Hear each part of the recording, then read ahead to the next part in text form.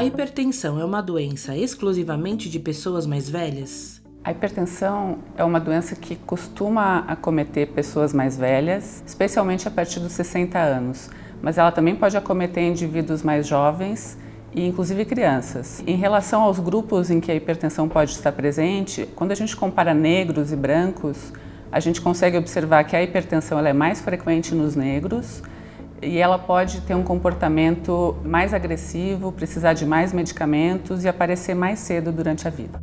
É possível ter hipertensão se meus pais não têm? Sim, é possível. Um indivíduo cujos pais são hipertensos, ele está sob risco mais elevado do que outros indivíduos de tornar-se hipertenso ao longo da vida. Mas esse não é o único fator que contribui para o aparecimento da hipertensão. Existem outros, outras condições que nós chamamos de fatores de risco que contribuem para o aparecimento da hipertensão nas pessoas em geral. Portanto, indivíduos sedentários, uh, com dietas com consumo excessivo de sal e álcool, uh, sobrepeso ou obesidade, todos estão sob risco de se tornarem hipertensos. Como eu descubro se tenho hipertensão? A hipertensão, ao contrário do que algumas pessoas pensam, é uma doença de comportamento muito silencioso ao longo de anos ou décadas. Portanto, ela é uma doença assintomática. Sendo assim, a maneira de se fazer o diagnóstico é através de um rastreamento dos indivíduos adultos saudáveis ou com outras condições de saúde com aferições frequentes da pressão arterial. Qual a importância de saber se sou hipertenso? É muito importante você saber se você é hipertenso. A hipertensão é por si só um fator de risco importante para o desenvolvimento de aterosclerose.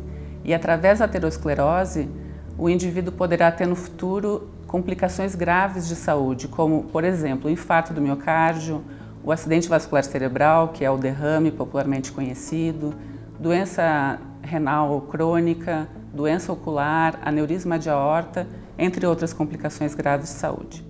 O que o sal tem a ver com a pressão alta? Até hoje, todos os mecanismos de desenvolvimento da hipertensão arterial não são totalmente conhecidos, mas existe um fator uh, claramente associado ao desenvolvimento da hipertensão, que é a ingesta excessiva de cloreto de sódio, que nada mais é do que sal de cozinha. O que isso significa? Significa que pessoas que têm uma alta ingesta de sal na sua dieta estão sob maior risco de se tornarem hipertensos. Pessoas hipertensas têm uma recomendação de restringir a quantidade de sal na dieta e, com isso, obter um melhor controle da pressão arterial. E aqui vale a pena salientar que quando a gente considera o sal ingerido diariamente, não é apenas aquele sal que nós usamos para temperar os alimentos, mas também o sal contido nas preparações industrializadas, que nós sabemos que são normalmente ricas em cloreto de sódio.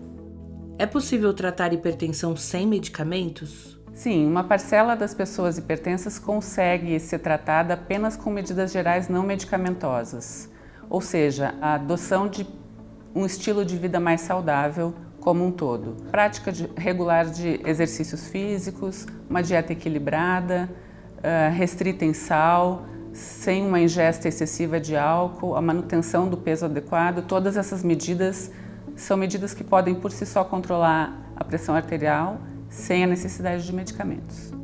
Devo tomar medicamentos somente quando minha pressão sobe? Não.